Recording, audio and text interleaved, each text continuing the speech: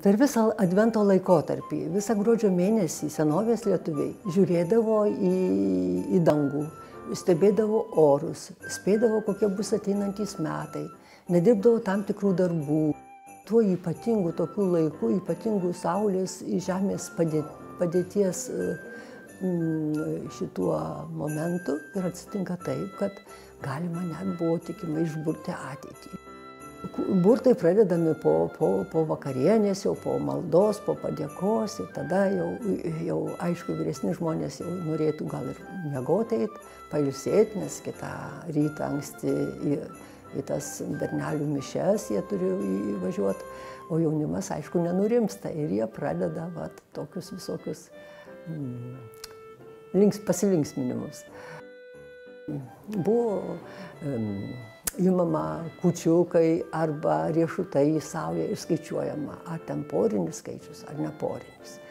Ir nesvarbu, kad tai jau ten buvo ir vedę žmonės, bet tas e, poros buvimas vis tiek reiškia, kad tai bus sėkmingi metai. Būdavo tikima, kad jeigu porinis skaičius kažkur tai lydi tave, tai viskas bus gerai.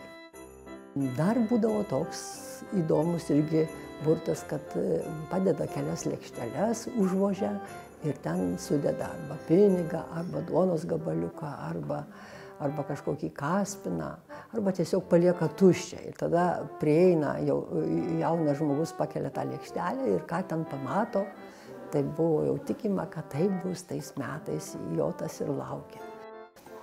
Na ir aišku, šieno traukimas. Šieną traukdavo irgi po kučių vakarienės iš postaltiesės ir žiūrėdavo, ar tas šiaudas ilgas, ar jis nesulūžęs, ar jis nesulinkęs, o kartais pasitaiko ten kažkokia varpelė, kažkoks tai uh, irgi dargi ir su grūdeliu, kažkokia smilga, tai buvo tikima, kad labai jau bus sėkmingi metai. Dar buvo galima su vašku lieti, uždegti žvakę ir į dubenį vandens lieti tą žvakę Ir vaškas, krisdamas į vandenį, sustingsta į tam tikrą formą. Ir paskui jau, kai jis visiškai sustingsta, pakelia ir prieš šviesą žiūri ant sienos, kas ten, e, kas ten gaunasi, koks pavydalas. Ir vieni žiūri žiedą, kiti žiūri kažkokį mišką, kiti žiūri kažkokią mašiną. Na, ten priklauso jau nuo to, kiek žmogus turi vaizduotės ir, ir tada jau jis ten mato visokius įdomius dalykus. Būdavo dar toks labai įdomus burtas, pasirašo pažįstamų kavalierių vardus ir, ir kažkokius ir nepažįstamus visai vardus ir, ir ant popieriukų atskirų pasideda po pagalbę ir paskui jau naktį, ten vidurnaktį ištraukia ir, ir perskaito, kas ten.